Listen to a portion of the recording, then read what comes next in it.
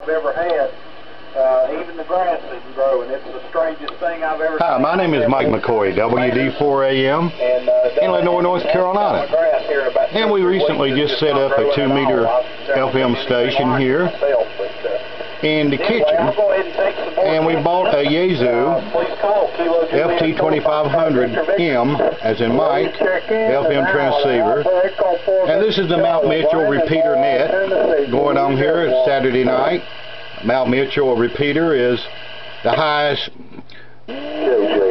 repeater here to eastern to the Mississippi. Good coverage of 600 miles. And it is powered by Astron 20 amp power supply. And it's had 31 programmable memories. And I recently found this little unit at the pawn shop and basically got it for $10. Done a little repair work on the microphone and it's built military specs. It's an older type transceiver but still rugged and still good and very accessible for hams.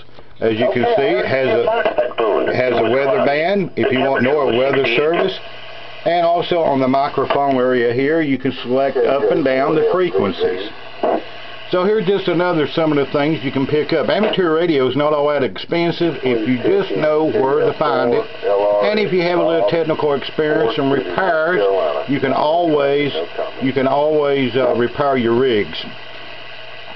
So seven threes from Lenoir, North Carolina on 145190 and thanks to Randy and all the folks that keeps the repeaters up and we need more activity on 2 meters. We need to keep it alive.